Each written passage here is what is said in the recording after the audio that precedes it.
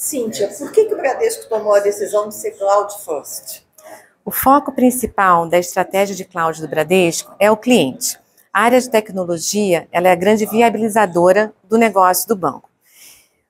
Como, como nós queremos entregar as jornadas cada vez mais rápidas, ter um melhor time to market trazer inovação, a cloud é a tecnologia que, que, que, que facilita e que, e que viabiliza toda essa jornada e, e, e esse time to market mais rápido para os nossos clientes todos os novos serviços já nascem cloud. Todos os novos já nascem em cloud e nós temos todo um roadmap de modernização dessa jornada, do nosso legado para cloud. Mas sem corrida, né? É uma jornada que vocês estão fazendo. O foco é sempre no cliente e é, essa jornada é sempre com foco da gente trazer as plataformas digitais, trazer as funcionalidades, trazer as jornadas fluidas, fazer um uso intensivo de dados e, e, e inteligência artificial para fazer essa hiperpersonalização e a entrega dessa jornada fluida, contextualizada para o nosso cliente.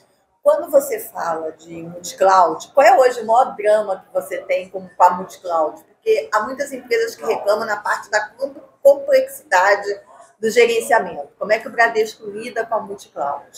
Tudo na vida a gente tem prós e contras. Então, a multicloud ela favorece o quê? Que você pegue o um, um melhor de cada, de cada, de cada provedor e que você consiga estar tá utilizando diferentes serviços para dar o melhor né, para o nosso cliente. Mas, como, como tudo tem prós e contras, é, o, nós precisamos treinar pessoas em mais tecnologias, é, nós temos todo o processo de gestão que fica mais complexo, mas a gente entende que essa ainda é uma vantagem competitiva para o Bradesco. Como que a inteligência artificial se alia à estratégia de Cloud First? A inteligência artificial, os serviços de inteligência artificial, eles só são disponibilizados em cloud. Então, todo o uso intensivo de inteligência artificial que o Bradesco faz, desde o lançamento da BIM em 2016, que foi o primeiro caso global de uso de inteligência artificial com os clientes, ele já nasceu em cloud.